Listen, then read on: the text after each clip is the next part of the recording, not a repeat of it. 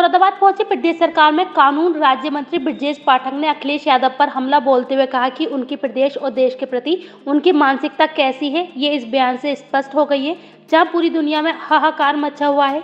जिसमें भारत ने अग्रणी भूमिका निभाई है कि कोरोना वैक्सीन का प्रोडक्शन देश में हो और सबसे पहले भारत के लोगों को मिले, उत्तर प्रदेश के लोगों को मिले और अखिलेश यादव के बयान की निंदा पूरी दुनिया में हो रही है।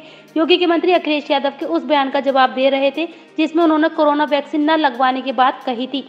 कानून राज्य मंत्री आज एक दिन के प्रवास पर मुरादाबाद पहुँचे हैं।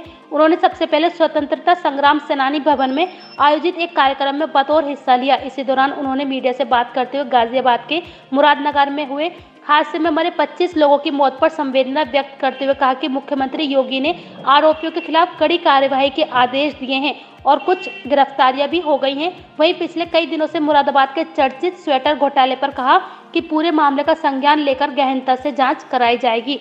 उनसे जब हाई कोर्ट बेंच पर सवाल किया गया पहले तो वह कुछ भी बोलने से बचते रहे लेकिन उन्होंने इस विषय पर बाद में चर्चा करने की बात कही।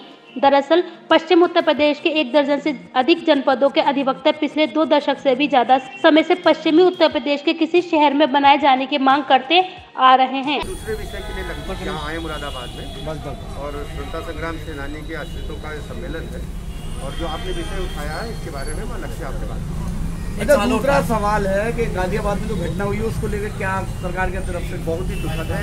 माननीय मुख्यमंत्री जी ने कड़ा एक्शन लिया है। संबंधित लोगों पर एफआईआर दर्ज कराई गई है। जो पीड़ित है उनके साथ पूरी सरकार खड़ी है। हम किसी भी लापरवाह अधिकारी को कर्मचारी को बख्शेंगे नहीं। जिन लोगों की लापरवाही से घटना हुई है उन पर हमने आपराधिक मुकदमा दर्ज किया है। और जाँच के बाद ही मैं कह पाऊँगा कि कौन कौन दोषी है।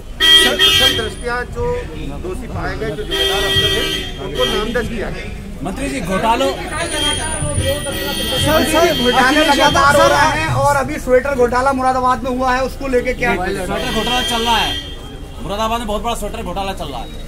सुर्खियों में है अभी अभी हम जानकारी करेंगे तुरंत पहुँचे हैं अब मुझे लगता पाँच मिनट भी नहीं हुआ है सर अखिलेश यादव कह रहे हैं सर अखिलेश यादव ये जिस कार्यक्रम में आज उसके लिए कुछ पूछोगे सर अखिलेश यादव सर अखिलेश यादव कह रहे हैं कि बीजेपी की वैक्सीन है मैं नहीं अखिलेश यादव की अखिलेश जाओ अखिलेश यादव जितने फ्रीडम सीधे ऊपर कर फाइटर आखिरी सवाल अखिलेश यादव अखिलेश यादव एक सवाल इनके लिए पूछ लो अखिलेश यादव सर इसका जवाब दे दीजिए पहले फिर उसका सवाल हो जाएगा।